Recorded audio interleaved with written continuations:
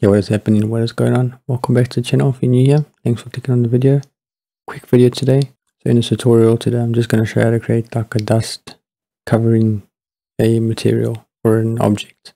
So quick video. Let's get into Blender. Okay, so first thing I want to do, enable this. Then go Shift A, add a plane. Scale it up a bit. Go into shading then tick new. So let me just bring this up. G.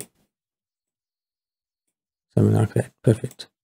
Now click on the Principled BSDF shift D duplicate it and then just bring it so yeah then bring this to like a red.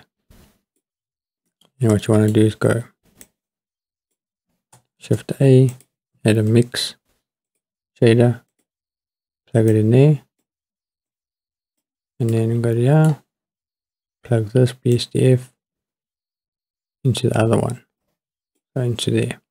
Then bring this down, bring this down, Shift A, type in color ramp, and then plug this to the factor. Then go Shift A again, type in noise texture, click on it and then go control T and then plug the object into the vector and then plug the factor of the color of the noise texture into the color ramp. Now you can see starting to get something that kind of resembles dust. And then what you want to do is bring this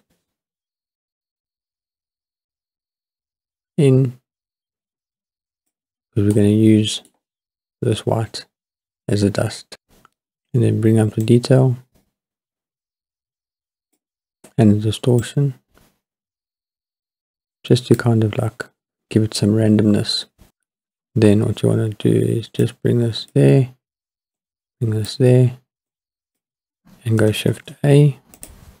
Bring a white noise texture node plug it in there and then Shift A again, type in mix, RGB, plug it in there.